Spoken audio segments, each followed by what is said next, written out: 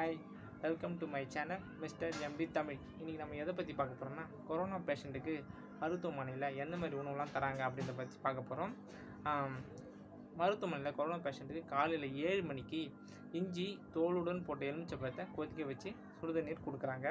அடுத்தது காலையில் எட்டு முப்பது மணிக்கு இட்லி சாம்பார் ஆனியன் சட்னி அதுக்கப்புறமா ரெண்டு முட்டை தராங்க பால் தராங்க பழரசம் தராங்க.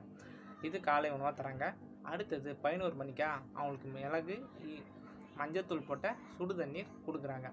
இது ரொம்ப தொண்டைக்கு இதமாக இருக்குன்னு சொல்கிறாங்க அடுத்தது இது ஆன்டிபயோட்டிக் கூடன்னு டாக்டர் சொல்கிறாங்க அதுக்கப்புறமா மதியம் ஒரு மணிக்கு அவங்களுக்கு வந்து ரெண்டு சப்பாத்தி புதினா ரைஸ் தராங்க. ஒரு கப் கீரை கொடுக்குறாங்க. அவிச்ச காய்கறிகள் கொடுக்குறாங்க. மிளகு ரசம் கொடுக்குறாங்க. அப்புறம் அவிச்ச பொட்டுக்கடலை ஒரு கப் கொடுக்குறாங்க. இது மதிய உணவாக அவங்களுக்கு தரப்படுது. இது ரொம்ப சத்துள்ள உணவாக சொல்கிறாங்க அடுத்தது மூணு மணிக்கு வந்து அவங்களுக்கு மறுபடியும் மஞ்சள் மிளகு போட்ட சுடு தண்ணீர் கொடுக்குறாங்க. அதுக்கப்புறமா மாலை நாலு மணிக்கா பருப்பு வகையான கடலை அவிச்சது கு- அவிச்சு கொடுக்குறாங்க. அடுத்தது வந்து இரவு ஏழு மணிக்கு அவங்களுக்கு எந்த மாதிரி உணவு வகை தராங்கன்னா இட்லி தராங்க. சாம்பார் ரெண்டு சப்பாத்தி கொடுக்குறாங்க. ஆனியன் சட்னி அதுக்கப்புறமா ஒரு முட்டை கொடுக்குறாங்க. இந்த சாப்பாடெலாம் சத்துணவு டாக்டரோட பரிந்துரைப்படி அவங்களுக்கு கொடுக்க போகிறதா சொல்கிறாங்க இதில் விட்டமின் டி சத்துக்கள்லாம் ரொம்ப அதிகமாக இருக்குதுன்னு சொல்கிறாங்க பொதுவாகவே இந்த கொரோனா காலத்தில் எந்த மாதிரியான உணவுகள்லாம் எடுக்கணும்னு டாக்டர் சொல்கிறாங்கன்னா vitamin D vitamin E vitamin A vitamin C அப்புறம் ஜிங்க் இந்த மாதிரி சத்துக்கள் இருந்த உணவெல்லாம் அதிகமாக எடுத்துக்கணும்னு சொல்கிறாங்க இந்த சத்துக்கள் எல்லாம் நீங்கள் சாப்பிட்ற உணவில் இருக்கான்றத நீங்கள் கூகுளில் போய் சர்ச் பண்ணி பார்த்துக்குங்க.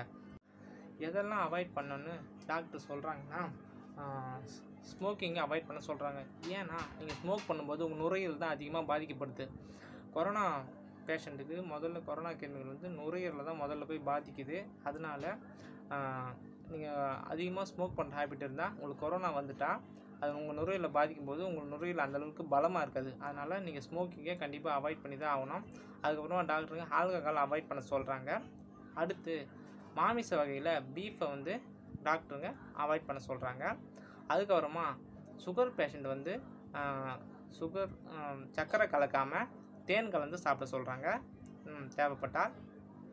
அதுக்கப்புறமா தினமும் பத்து கிளாஸ் தண்ணீர் குடிச்சிங்கன்னா உங்கள் உடம்பு ரொம்ப ஹைட்ரேட்டாக இருக்கும். அது உங்கள் நோய் எதிர்ப்பு சக்திக்கும் ரொம்ப ஹெல்ப்ஃபுல்லாக இருக்கும்னு டாக்டர் சொல்கிறாங்க மிதமான வெயிலில் ஒரு பத்து டு பதினஞ்சு நிமிஷம் நின்னீங்கன்னா விட்டமின் டி அதிகமாக இருக்குன்னு சொல்லி டாக்டருங்க சொல்கிறாங்க இதெல்லாம் கொரோனா பேஷண்ட்டுகள் சாப்பிட வேண்டிய உணவு வகைகளும் அவங்க கடைப்பிடிக்க வேண்டிய பழக்க வழக்கங்களும் அப்படின்னு டாக்டர் சொல்கிறாங்க எல்லோரும் நம்ம சேனல் மிஸ்டர் எம்டி தமிழுக்கு சப்ஸ்கிரைப் பண்ணுங்கள் நன்றி வணக்கம்.